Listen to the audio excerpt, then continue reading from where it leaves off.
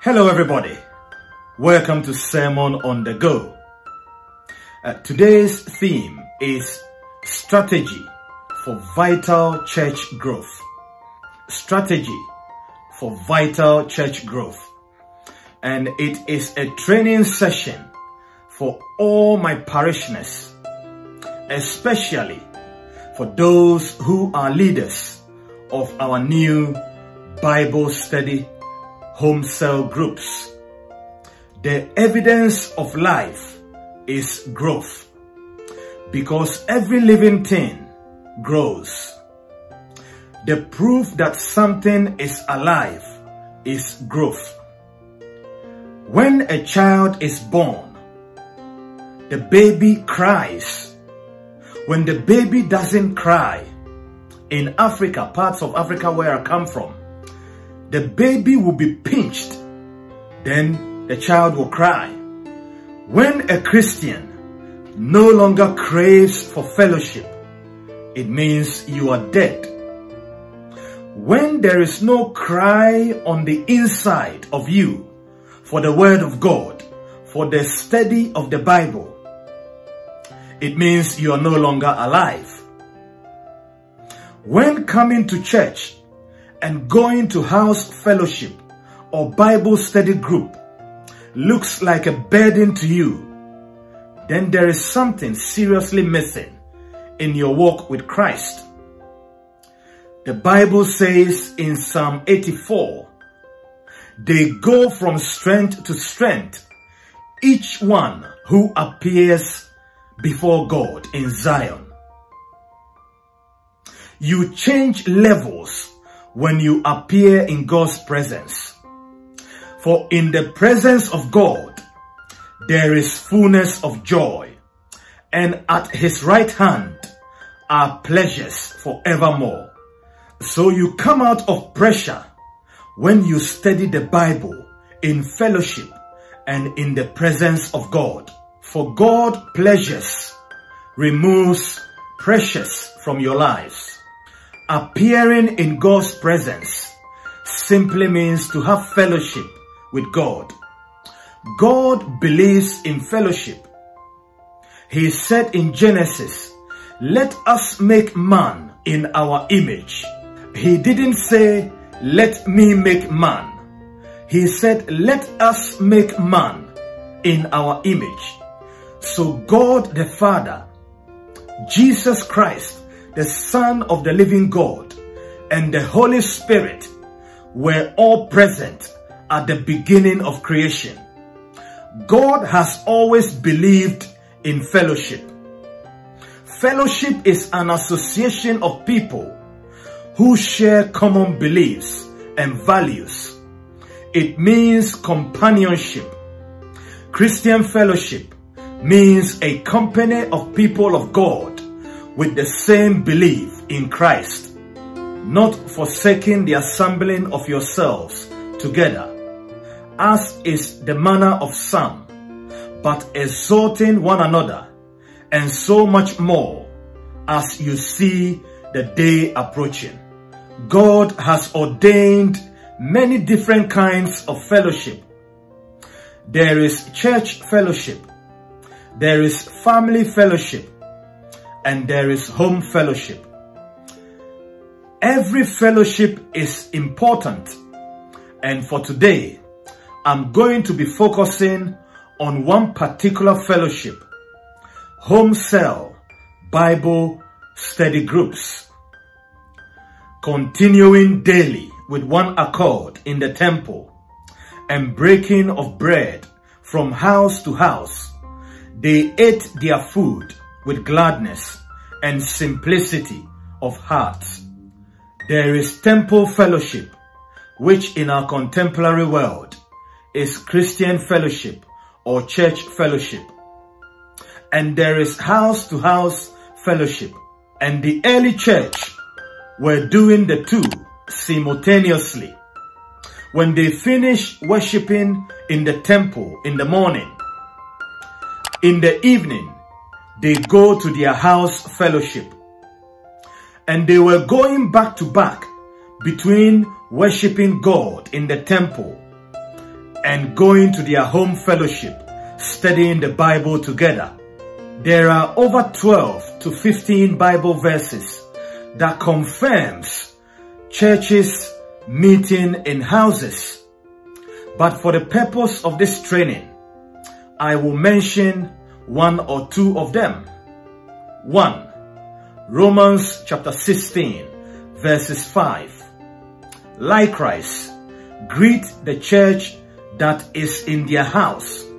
Second, Philemon chapter 1 verses 2. Paul, a prisoner of Christ Jesus, and Timothy, our brother, to Philemon, our beloved friend and fellow laborer, to our beloved Apphia, our fellow soldier, and to the church in your house. Grace to you and peace from God our Father and of the Lord Jesus Christ. Third, Acts chapter 12, verses 12. So when Peter has considered this, he came to the house of Mary, the mother of John, whose surname was Mark, where many people were gathered praying together. That was Peter, the chief apostle. It was the church in the house that prayed for Peter to be released from prison. In all these three verses, you can see that the early Christians met in people's homes outside of the temple worship. Now, the Bible study I am about to start in my parish, I have decided that we call it a Bible study group. But it is also called a home cell group. But why do we call it a cell group? That's because the human body is composed of trillions of cells. And the Bible calls you and I the body of Christ. And different cells makes up the human body. If the cells dies, the body will die. Therefore, any church without a healthy cell fellowship, without a healthy Bible study group or home cell group, that church begins to die.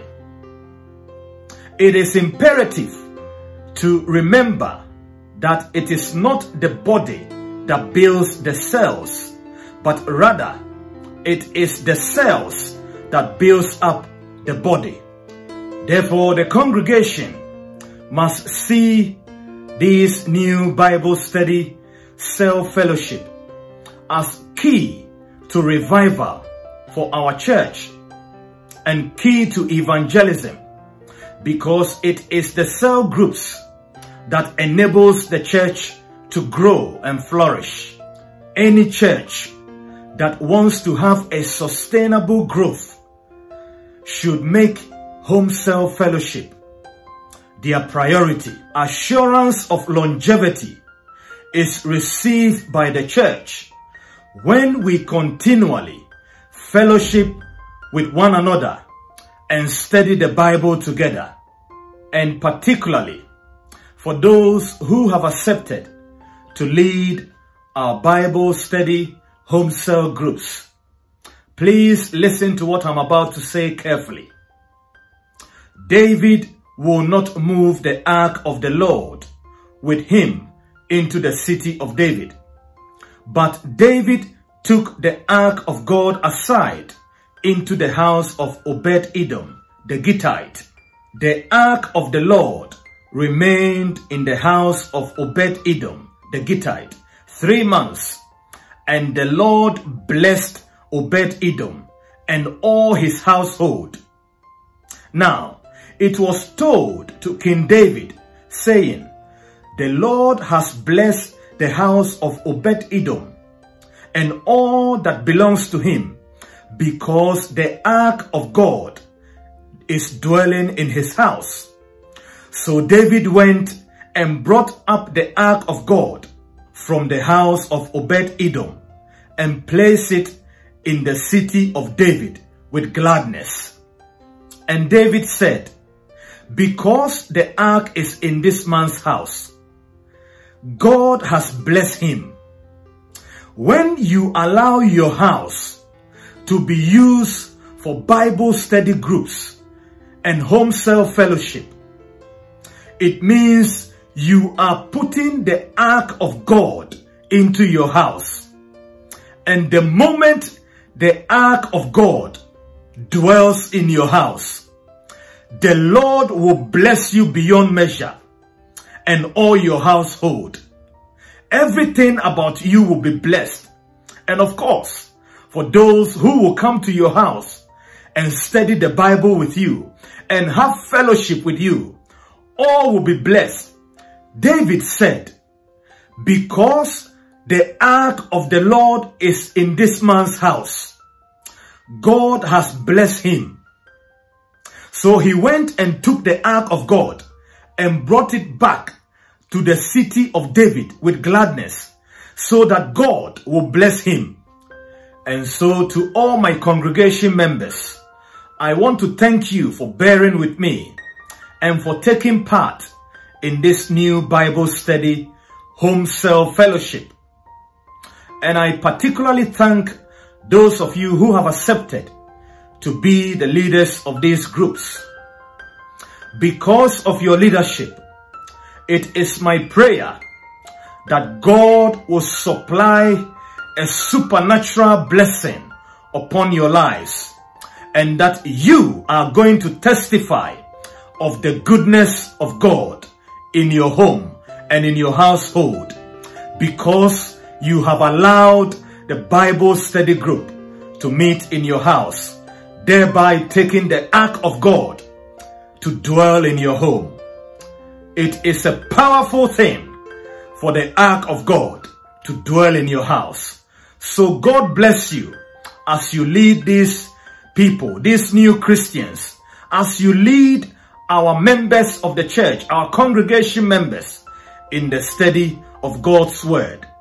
Of course, from time to time, I will come around and visit you as you study the Bible, but I will be a guest, but I will be with you as you study the Bible together and encourage you and support you in your new Bible study.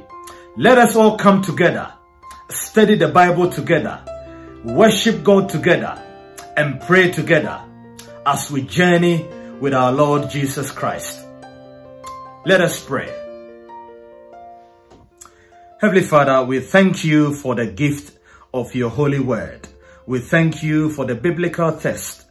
We thank you for your holy scriptures. And we thank you for helping us to start these new Bible study groups and home fellowship.